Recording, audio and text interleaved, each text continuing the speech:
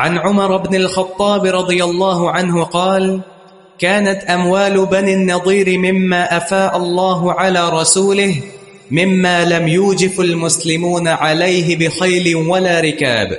وكانت لرسول الله صلى الله عليه وسلم خالصة.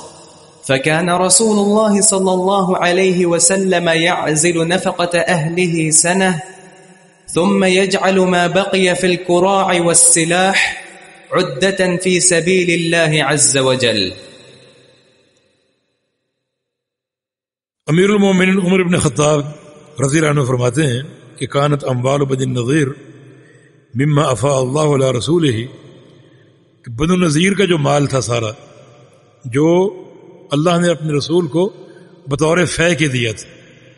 میدان جہاز سے ملنے والا مال دو قسم کے، ایک مال غنیمت اور ایک مال فے۔ مال غنیمت وہ مال ہے جو لڑ کے حاصل ہو۔ اور مال فے وہ مال ہے جو دشمن سے لڑے بغیر حاصل ہو جائے۔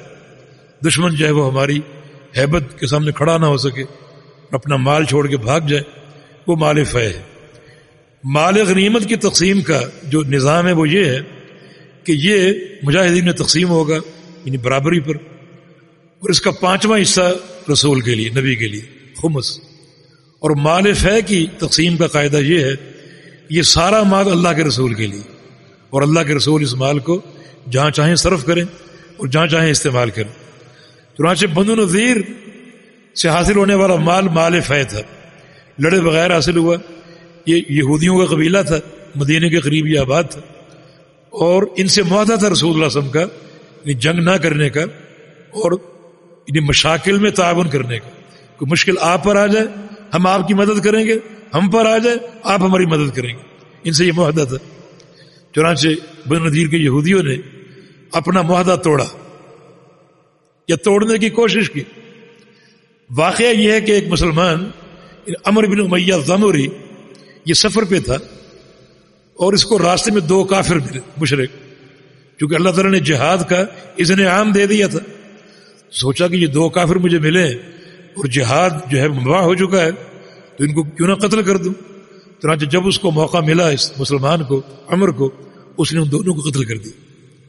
اسے معلوم نہیں تھا کہ یہ بنو عامر کے دو لوگ اور بنو عامر کے ساتھ بھی نبی اسلام کا معاہدہ تھا۔ اسے اس کا علم نہیں تھا۔ اب غلطی ہو گئی۔ اب نبی اسلام نے اس بات کو چھپایا نہیں۔ یہ آپ کا حلم اور آپ کا ایک انصاف۔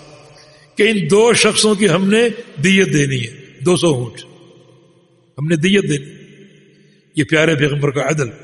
حالانکہ دونوں کافر تھے، لیکن جو کہ معاہدہ ہے، اس معاہدے کی روح سے یہ غلطی سے قتل ہو گیا۔ ہم نے ان کی دیت دینی۔ اب دو سو اونٹ، اتنا وافر مال مسلمانوں کے پاس نہیں تھا۔ چنانچہ آپ بن نذیر کہ یہودیوں کے پاس گئے کہ ہم پر یہ مشکل آ گئی۔ اب معاہدے کے روح سے آپ ہماری مدد کریں۔ اور یہ کچھ اونٹ ہمیں دیں تاکہ ہم یہ دیت ادا کر سکیں۔ یہودی خبیص اور شیطان مشورہ دینے والا، انہوں نے کہا کہ محمد صلی اللہ علیہ وسلم آئے ہیں اکیلے اور ساتھ ایک صحابی بس۔ تو آج موقع ہے ان کو قتل کرنے کا، نعوذ باللہ۔ آج جان چھوڑانے کا موقع ہے۔ چنانچہ انہوں نے نبی علیہ السلام کو ایک دیوار کے سائے تلے بٹھایا اور اس کی چھت پہ ایک بھاری پتھر رکھ دی۔ کچھ لوگ اوپر کھڑے کر دیے کہ جب آپ بیٹھ جائیں تو پتھر اوپر سے لڑکا دیں۔ بھاری پتھر تاکہ اللہ کے پیارے پیغمبر کو یہ پتھر دبا دے اور آپ کو قتل کر دے۔ یہ پروگرام بن گیا۔ آپ بیٹھ گئے، پتھر اوپر رکھ دیا گیا اور کچھ شرارتی خبیر شیطان یہودی اوپر چڑھ گئے۔ بین اسی وقت جبریل امین آ گئے اور نبی علیہ السلام کو آگاہ کر دی۔ یہ ان کی سازش، یہ ان کی سازش۔ وہ قتل پر کے در پہ ہے۔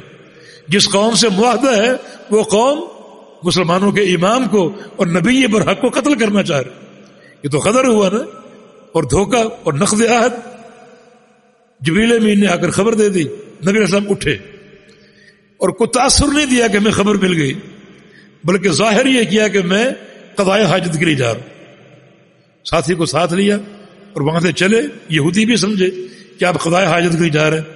اب یہودی انتظار کر رہے مگر رسول اللہ علیہ وسلم مدینہ منورہ چلے گئے اور صحابہ کا جتھا ایک تیار کر کے واپس بنو نذیر آ گئے اور آ کر ان پر حملہ کرتے۔ یہودیوں نے لڑنے سے معذوری ظاہر کر دی اور کہا کہ ہم یہاں سے نکل جاتے ہیں۔ اپنے علاقے چھوڑ دیتے ہیں، اپنے باغات چھوڑ دیتے ہیں اور بس اپنے اونٹوں پر ہم نکلتے ہیں۔ اتنی ہمیں اجازت دے دو کہ اونٹ جتنا سامان اٹھا سکیں، اتنا ہم ساتھ لے جاتے ہیں۔ باقی سامان آپ کا مال غنیمت تو کسی لڑائی کے بغیر اتنا یہ مال حاصل ہوا، یہ سارا مال فہ کہلاتا ہے جو نبی کا حق ہے۔ چانچہ رسول اللہ علیہ وسلم اس مال کو کیسے استعمال کرتے تھے؟ فرماتا ہے کہ مما لم یوجف المسلمون علیہ بخیل مدارکاب اس مال کو حاصل کرنے کے لیے مسلمانوں نے اپنے گھوڑے اور اونٹ دوڑائے نہیں تھے۔ من لڑائی نہیں کی تھی، جہاد نہیں کیا تھا۔ وکانت رسول اللہ خالص یہ سارا مال نبی علیہ السلام کے لیے خالص تھا۔ فقان رسول اللہ علیہ وسلم یا نفقت اہل ہی صنعت تو رسول اللہ علیہ وسلم اس مال میں سے سال بھر کا اپنے اہل کا نفقہ نکال لیا کرتے تھے۔ اپنے اہل کا، جو آپ کی بیویاں تھیں، امہات المومنین، ایک اندازے تھے ان کا سال بھر کا خرچہ نکال کے الگ کر لیتے اور باقی سارا مال آپ خرچ کرتے قرا اور سلاح میں۔ قرا یعنی جانور، گھوڑے اور اونٹ وغیرہ خریدنے میں تاکہ ان کی پشت پر بیٹھ کر جہاد کریں اور صلاح اسلحہ کیونکہ جہاد فرد ہو چکا اور اس کا آغاز ہو چکا اور مسلمانوں کو ضرورت تھی کہ مستحکم ہو۔ چنانچہ پیارے پیغمبر محمد رسول اللہ علیہ وسلم اپنے اہل کا نفقہ نکالنے کے بعد سارا مال سواریوں کی خریداری میں اور اسلحے کی خریداری میں خرچ کر دیتے۔ عدت فی سبید اللہ اللہ کی راہ میں جہاد کی تیاری کے لیے۔ تو یہ مال کی محبت نہیں، دنیا کی محبت نہیں۔